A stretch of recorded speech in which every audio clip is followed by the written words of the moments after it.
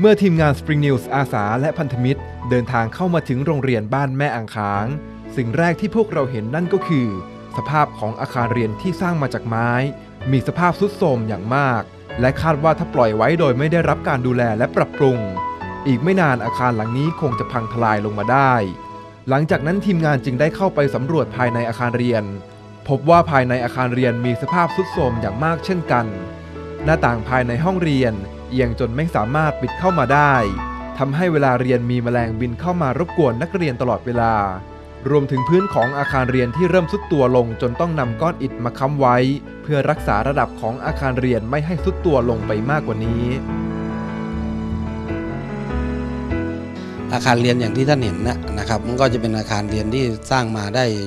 20กว่าปีเกือบ 30 ปีนะครับ ก็สร้างจากไม้มัน ชำรุดแล้วก็สุดโทรมลงไปมากนะครับ ไม่ว่าจะเป็นต่อหม้อนะครับ ประตูหน้าต่างนะครับ ก็เอียงไปหมดแล้วนะครับพื้นก็ไม่ได้ระดับเอียงสุดไปหมดนะครับ ก็อีกส่วนหนึ่งที่อยากจะได้ก็คือเรื่องของอุปกรณ์เสริมก็เรื่องของโต๊ะเก้าอี้นะครับ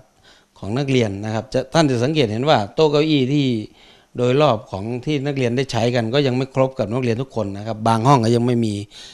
โต๊ะและเก้าอี้ที่จะนั่งให้กับนักเรียนทุกคน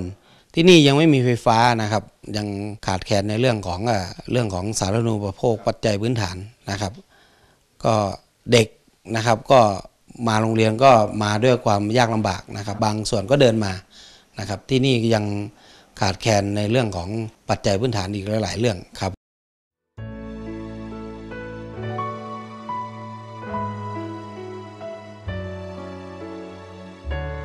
ท่านผู้ชมสามารถร่วมบริจาคเพื่อสร้างอาคารเรียนหลังใหม่ให้กับน้องๆ ในโครงการ Spring News อาสาต่อเติมฝันปันความรู้ปีที่ 2 ได้ที่